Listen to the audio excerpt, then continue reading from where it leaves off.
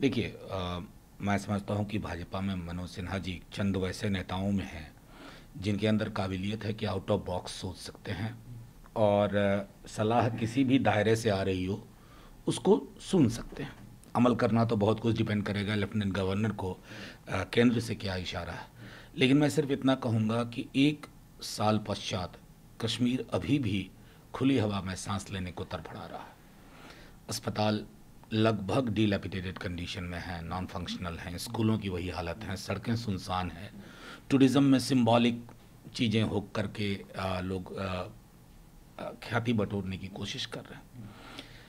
मैं व्यक्तिगत तौर पे गवाह हूँ कि कई छात्रों के सेशन खत्म हो गए मिस हो गए। तो मैं तो उम्मीद करूँगा कि लेफ्टिनेंट गवर्नर साहब सबसे पहले यहाँ पॉलिटिकल प्रोसेस बहाल करें। महबूबा जी जैसे लोगों की रिहाई की फौरी तौर पर कोशिश करें। और जितने पॉलिटिकल प्रिजनर्स हैं, एक साल के अंदर, उनको बाहर निकालें, ताकि जो हम सामान्य कहते हैं और जो सामान्य दिखता है, दोनों के बीच के जो मीलों का फासला है, वो ख़त्म हो। सर, जो ऑफिसर्स गए थे, अब मुंबई वो वापस लौटे हैं रिपोर्ट अपनी देंगे। दूसरी तरफ़ ईडी एक तरह से जाँच शुरू कर दिया है। सीबीआई में भी सेंटर से एकदम जाँच के लिए ऑफ़र हो गया। अब लगता है कुछ खुलासा हो पाएगा। देखिए, मैं समझता हूँ कि सीबीआई की तो कई सारी हमने पहले इन्वेस्टिगेशन देखी है जो बॉटस्टअप रही हैं, जिनमें कोई नतीजा नहीं आया। कुछ साल हेडलाइन मैनेजमेंट हुआ। हम चाहते हैं सुशांत सिंह राजपूत जी की दुखद इस हादसे को हेडलाइन मैनेजमेंट के रूप में सिर्फ़ ना देखा जाए, तह तक पहुँचा जाए। रसूखदार से रसूखदार लोग जो अगर हैं तो उनके नाम सामने आने चाहिए। यानी कि पूरी प्रक्रिया पर एक सघन नज़र हो। और साथ ही साथ एक कोशिश ये भी होनी चाहिए अब मैं समझता हूँ हम सब की कि हमने एक मौत को जो रेस्पेक्ट मिलना चाहिए और डेथ डिजर्व्स अ रिस्पेक्ट उसके मद्देनज़र हम पिपली लाइव लाइवकरण ना करें इसका वो बेहतर होगा। सर आप किस तरीके लगाया गया देखिए सीधी सी बात है कि चाइना को लेकर के हमसे लगातार गलतियाँ हुई हैं। भारत सरकार मतलब अगर मैं कुछ ना करूँ चार पाँच ऐसे पत्रकार हैं, जो रिपोर्ट्स अलग अलग अलग अखबारों में आई हैं।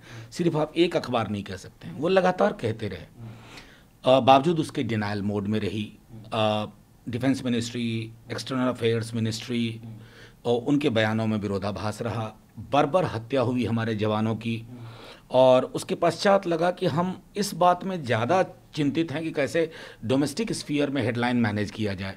19 जून को प्रधानमंत्री जी ने नो इंट्रूजन कह दिया।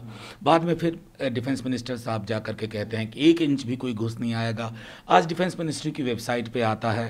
अग्रेशन की बात आती है। कई जगह शब्द चुना जाता है। इंट्रूजन के बदले आप कहते हैं अग्रेसिव पोस्चर सच तो ये है कि अगर पूरा इलाका देखें, गलवान, डिप्सांग, पेंगोंग, वहाँ सेमी परमानेंट स्ट्रक्चर तक बनाए गए हैं। मेरा सीधे तौर पर मानना है कि आज जब डिफेंस मिनिस्ट्री की वेबसाइट पर आया, फिर हटाया क्यों गया? और सीधे तौर पर मैं चिंतित इस बात को लेकर हूँ कि चाइना के को लेकर के हमारी डिप्लोमेसी, ट्रायल बलून डिप्लोमेसी लगातार रह रही है। एक दूसरे पड़ोसी के लिए जितना नो नॉनसेंस पॉलिसी, हमारा रॉबस्ट पॉलिसी है पाकिस्तान के बरक्स, हमारे अहदेदार लोग चाइना का नाम तक लेने से कतराते हैं। ये संदेश मैं समझता हूँ डिप्लोमेसी के लिए एक बेहतर संदेश नहीं जाता। कुछ रह गया वीवो और बीसीसीआई ने आपस में अपना करार सस्पेंड कर लिया है। कैसे देखिए मैं अभी भी इसे सिंबॉलिज्म मानता हूँ। क्या यह सस्पेंशन सिर्फ़ इस वर्ष के लिए है? और ये कहा गया है कि इक्कीस बाईस में वो वापस आएँगे। अगर इस तरह की कोई चीज़ आप कर रहे हैं तो इसका मतलब आप में ईमानदारी की बेहद कमी है पारदर्शिता की कमी है और ये हॉलो सिंबॉलिज्म से ज़्यादा कुछ नहीं है। एबीपी न्यूज़ आपको रखे आगे।